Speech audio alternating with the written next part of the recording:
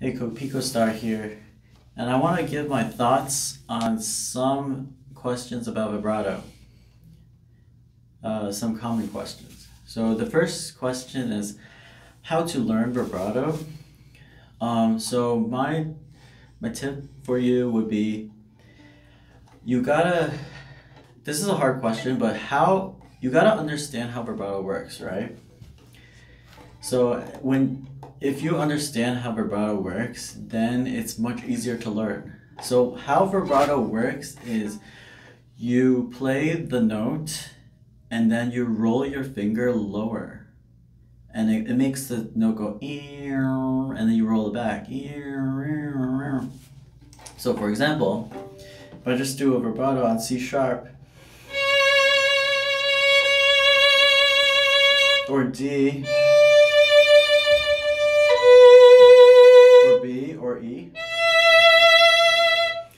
It sounds like vibrato, right? So what I'm doing is I'm actually going C sharp and then I roll my finger lower to C natural and then I roll it back to C sharp. Now I'm exaggerating, but the reason I exaggerate is because when I go faster, the faster I go, the it gets less and less wide. So like if I go faster, that that wave is going to get less and less wide. So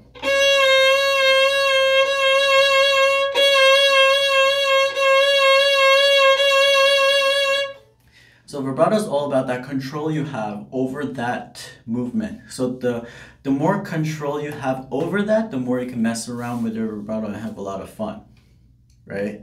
So how do you actually gain total control without spazzing? You see people spaz on vibrato all the time, right? Not all the time, but sometimes. Sometimes you see people spaz when they try to vibrato and it becomes like this. That is that shows that they have no they're not controlling it they're like they're tensing up their arm and it's just spazzing right you're not you're not actually you're not actually controlling each wave like like when i do vibrato like this i actually have control over how wide the wave how wide the waves are and how fast the waves are and that's that's one of the reasons why you can actually practice vibrato with a metronome. You can actually practice vibrato with a metronome. So like if you turn on a metronome, you could actually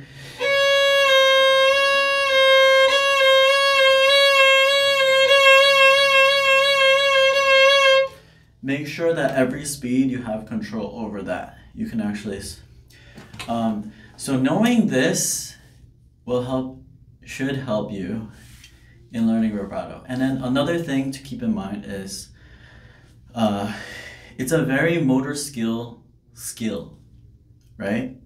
It's, it's, a, it's a very long-term skill. So don't try to be good at vibrato. It's not like learning one simple thing. It's like, don't try to be good at vibrato very quickly. Think long-term and you won't stress yourself out over it. All right. Think like it's something, it's something that you do a little bit every day, you get a little bit better at it every day. And then you'll have a nice little curve improvement on your vibrato as you learn it. Okay, so that's the first thing I want to talk. So knowing that, it, it should help you a lot in learning the vibrato. Um, there's a lot of tips, but that's, that's for another video maybe. Just basic how vibrato works and how you should go about learning it. Uh, knowing how it works mechanically is going to help you learn vibrato. Okay? So the second question is why wait to learn vibrato? Uh, that's that's a popular question because a, a lot of times people are like, my teacher doesn't want me to learn vibrato. My teacher says I can't learn vibrato, right? And my teacher will teach me when he wants to teach me, which is sometime in the next 10 years. Uh, there is a reason why you might want to wait to learn vibrato because the main reason is it takes away your brain power when you're trying to do other things. For example, if you're trying to work on how smooth and straight your bow is, right?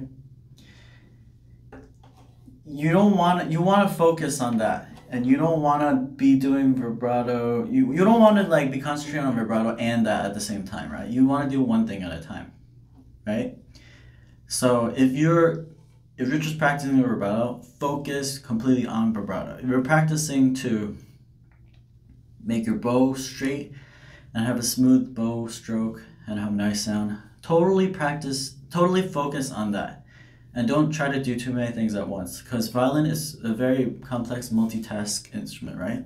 You could say that about a lot of instruments but violin is very multitask like crazy and then if you're trying to uh, concentrate on playing your passage cleanly evenly or in tune that's that's a lot of things that's a lot of things to concentrate on at the same time if you're trying to wiggle while you're doing all those things, at the same time, it's go inevitably it's going to take away from the other things. It's going to take away from the other things, and you're just going to slow down, I guess. So, I think you can learn vibrato if you understand this.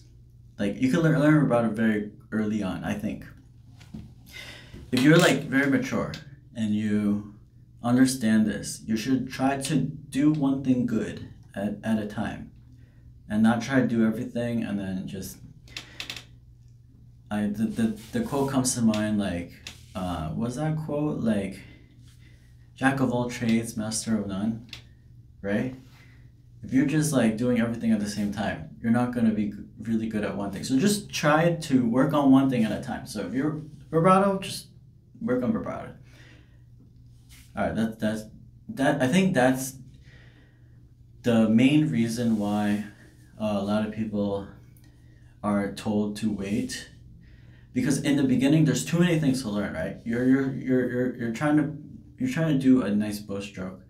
That's a huge task. You're trying to learn fingerings. You're trying to learn like where you're pressing. You're trying to play evenly. You're trying to have a clear sound. You're trying to you're trying to stay away from the bridge you're trying to distribute your bow. You're trying to uh, lighten up near the frog. So many things. Adding vibrato, oh man, that, that might be too much. So that that's like probably the main reason. And then the other um,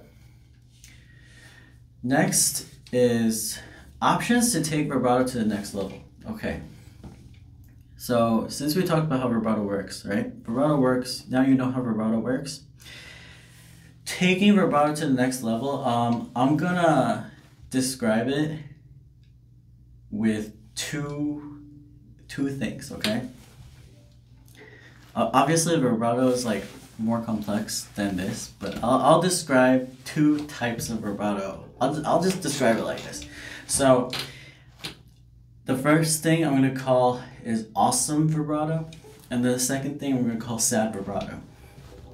So think of I I think of like this. Awesome vibrato is when the moment your finger slaps down, the moment that it slaps down, you immediately do a very big fat juicy vibrato like immediately. So for example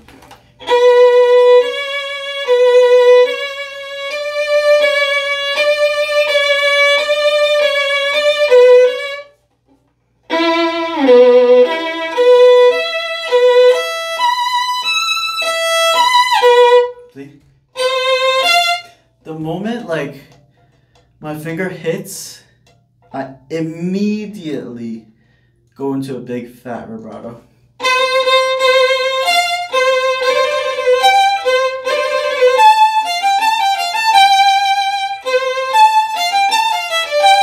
Like, take no time. Uh, the more immediately you go into the big fat vibrato, the more awesome you sound. Uh, I'm just saying it like that. It's more complex than that, but that's just an easy way to describe it, okay? And then the sad vibrato is when you play a note and then you start playing the no vibrato. And then you like ease into a vibrato. It's like very sad. You see this? Like no vibrato, right? And then I ease into a vibrato. See? Don't you feel sad already?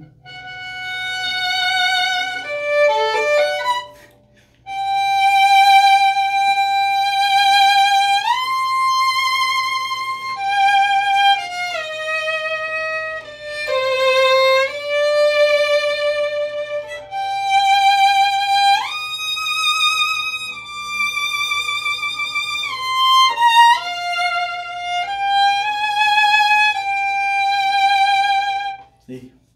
So sad, right? Alright, so it's just like two very different opposite ways of thinking, right? So knowing that uh, that will definitely help uh, you change moods when you vibrato. And then the um, if you want a general thing to always think about when you vibrato is connect vibratos.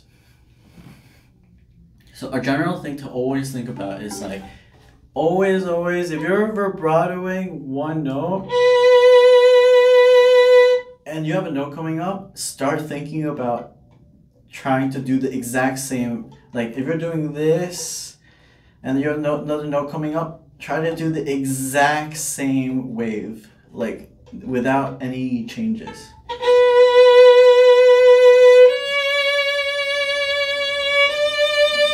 Like try to keep keep the wave going.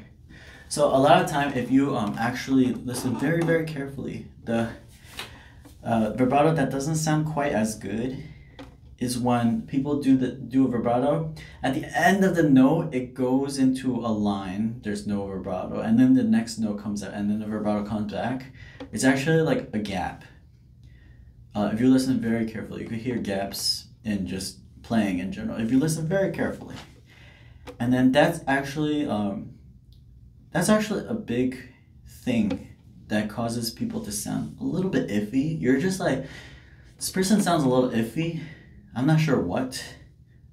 That's like one of the reasons why sometimes with us, so, someone sounds iffy. If you listen very carefully, you can see it. And then if you actually fix that, if you actually like are very careful and fix that and make the vibrato wave going to the next note like really, really connected and stay in the same wave, it sounds, it's gonna sound a lot better you you really notice it when you start recording.